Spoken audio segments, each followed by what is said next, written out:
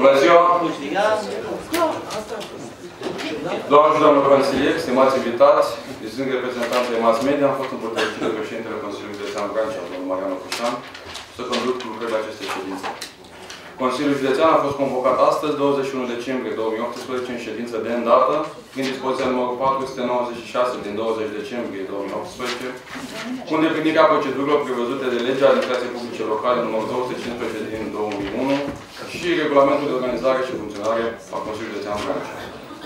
Consiliul Județean Brancea a fost a aprobat prin hotărârea numărul 207 din 2 a 10 a 2017 documentația și indicatorii tehnico-economici pentru proiectul Reabilitare energetică și lucrări conexe pentru Direcția Generală de Asistență și Protecție a Copilului Vrancea, sat Petrești, Comuna Vânător, Județul Vrancea, în vederea depunerii proiectului spre finanțare.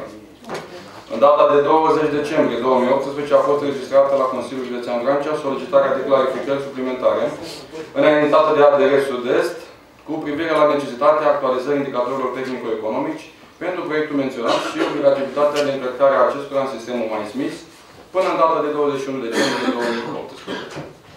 Astfel, se impune inițierea unui proiect de hotărâre privind modificarea și completarea hotărârii Consiliului Județean Brancea numărul 207 din 2 a 10 a 2017 privind aprobarea documentației tehnico-economici și a indicatorilor tehnico-economici pentru proiectul Reabilitare energetică și măsuri conexe pentru Direcția Generală de Asistență și Protecție a Copilului Brancea, sat Petrești, Comuna Vânător, județul Brancea.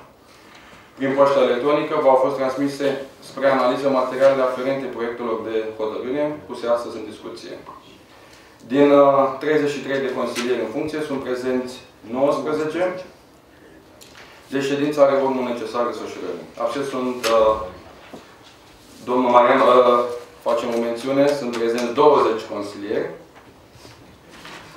Absent sunt uh, domnul președinte Marian Crișan, domnul consilier Atacicov, domnul consilier Buzănescu, domnul consilier Stoica, domnul consilier Burdușa, domnul consilier Ciumac, domnul consilier Crețu, domnul consilier Efure, domnul consilier Irmia, domnul consilier Lungu, domnul consilier Orteanu, domnul consilier Oprea, domnul consilier Stroie. Doamnă și domnul consilier, în proiectul ordinii de zi a ședinței de astăzi sunt înscrise următoarele proiecte de hotărâre. La punctul 1 avem proiectul de hotărâre privind modificarea și completarea hotărârii Consiliului Județean Vrancea, numărul 207 din 2 a 10 a 2017, privind aprobarea documentației tehnico-economice și indicatorilor tehnico-economici pentru proiectul Reabilitare energetică și măsuri conexe pentru Direcția Generală de Protecție și Protecția a Copilului Vrancea, sat Petrești, Comuna Vânător, județul Vrancea. Pentru detalii, doamna Dana Negulescu, vă rog.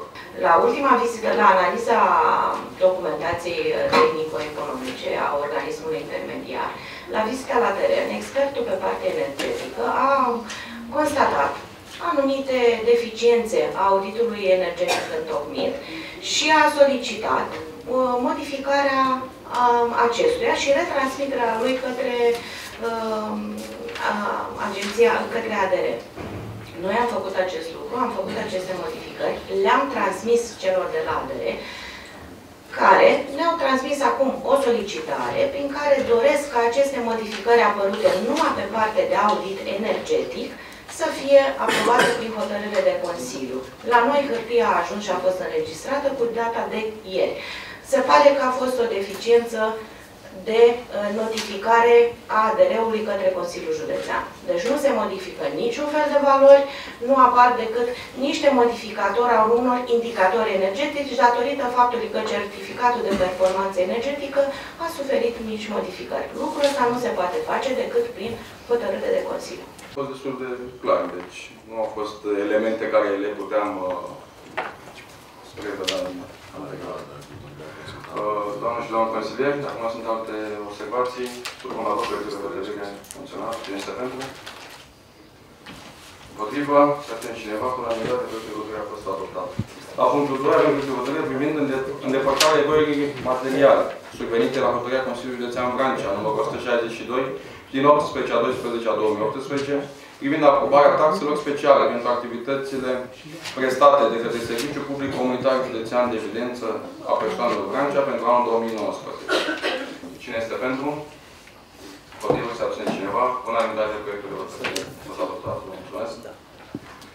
Doamne și domnul consilier, impozându-se Cel aflat în discuție pe ordinea de zi de astăzi, declară închise lucrările ședinței de îndată a Consiliului Județean Vrancea, astăzi 21 decembrie 2018. Vă dorim uh, sărbători fericite și un an bun.